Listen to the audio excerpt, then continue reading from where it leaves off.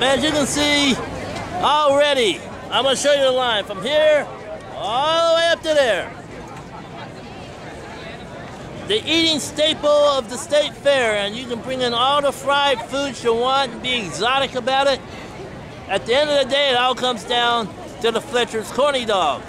But the big battle is right here. Time for the Donnie Sport food fight. Food fight! For the next, I'm gonna time it, 60 seconds. We're gonna have the battle, all right?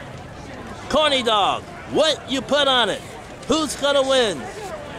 Ketchup versus mustard.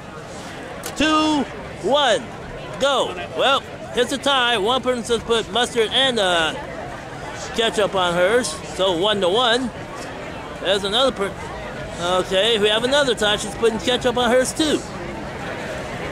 I don't know if one person will live like that. All right then. We're 20, 20 seconds in. Someone's got to make the decision either or. And there's the lead. Mustard takes the lead. All right. And there's a person putting ketchup on there. So we're about to see the ketchup. Yeah, there's another. Two, 42 mustards in the lead. Well, how much time we got? 20 seconds. All right then. Five to two. Five to three. Mustard's in the lead still. 10 seconds left. All right, no one else is offering up. Okay, here's one person's about to walk up. Will it be mustard? Will it be ketchup? Huh? Mustard. It'll be mustard. Six to two.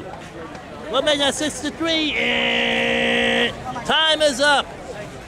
And just what, and I'm not surprised this uh, battle went down that way. Mustard won.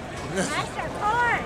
Uh, mustard was one, and uh, so we'll do this again to see if there's another end result later on down the road. But the food fight battle, mustard topped off. As you see, more people are still topping off with their corny dogs and stuff.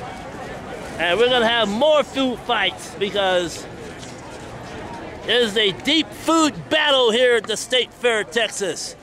And you just saw one battle amongst many.